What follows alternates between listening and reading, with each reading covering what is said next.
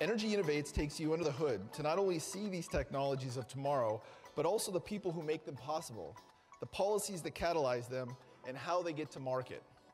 Energy innovation doesn't happen in a vacuum. It needs a combination of technology, policy, workforce, and finance.